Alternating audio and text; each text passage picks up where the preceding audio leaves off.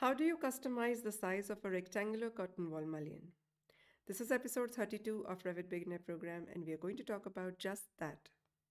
So I have this curtain wall here which has three vertical grids and one horizontal grids.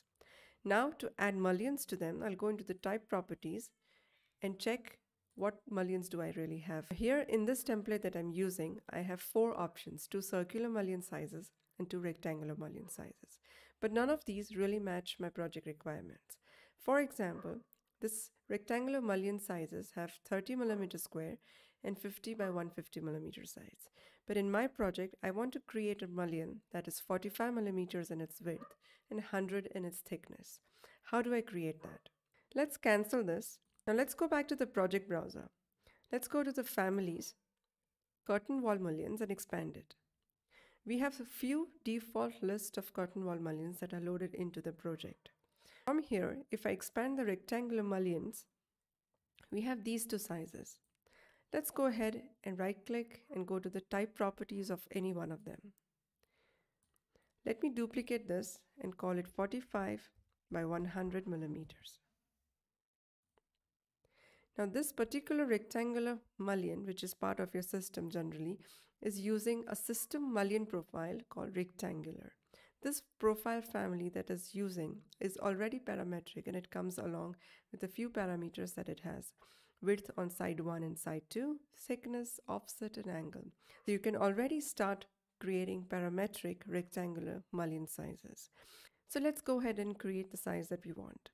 Width on side 1 and side 2 basically means that from the curtain grid, side 1 and side 2. So the total width, if when I need it to be 45 millimeters, I will actually choose this 22.5 millimeters on my left and 22.5 millimeters on my right from the curtain grid. It doesn't always have to be equal. If your project requirement is to have a different values on each side, you can always choose that. For now, I'm going to make them equal. Regarding its depth, let's make it 100 millimeters in thickness. I'm going to say OK to this. So we duplicated an existing rectangular mullion type and changed its parameters. Now let's go back to the type properties of our curtain wall. Going to the vertical mullions interior type. Here we have a new type available in the list. I'm going to select that and say OK. Let's go back to level 0 You see here, when you go near the mullion, you will see where the curtain grid is. And from this curtain grid, this is 22.5 on each side. Total thickness is 100 millimeters.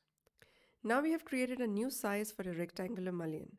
But let's go back to the type properties and try to change these side 1 and side 2. So let's go here and say, okay, this one is 30 millimeters on side 2 and this one is 15 millimeters on side 1. So now they're not equal on both sides.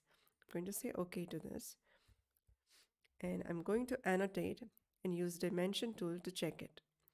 This is my curtain grid and from here you'll see this is side 1 is 15 and side 2 is 30. So you can also choose to make it asymmetric if that is your requirement. Let's try the same thing with circular mullion. I'll go into the project browser under families, I look for curtain wall mullions. Underneath, I'll go for circular mullions and choose any one of the default sizes. Duplicate it, call it maybe 30 millimeter radius. Right click, go to the type properties. The profile of this mullion is also system mullion profile, circular, and it already has a parameter for radius. I'm going to simply change that to 30 millimeter square. Now let's change one of this rectangular mullion into a circular one. I'm going to select only this mullion which I want to change, unpin it, and change from its type selector from the rectangular mullion to the circular mullion of 30 millimeter radius. So there we have changed the mullion.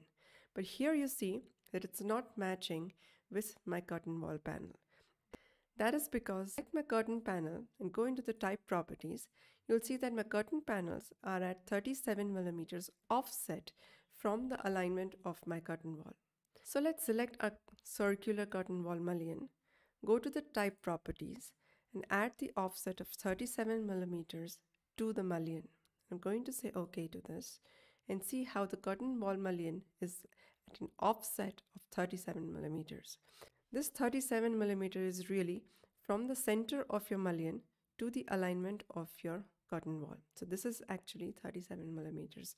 So keep this in mind when you're giving an offset value for your mullions. Now we know how to change the size of a mullion, but what about its shape? What if your mullion is not rectangular or circular? What if it has a custom shape? How do we customize the shape of a curtain wall mullion? That's a topic for our next episode. So please make sure that you subscribe, stay tuned. I'll see you in the next.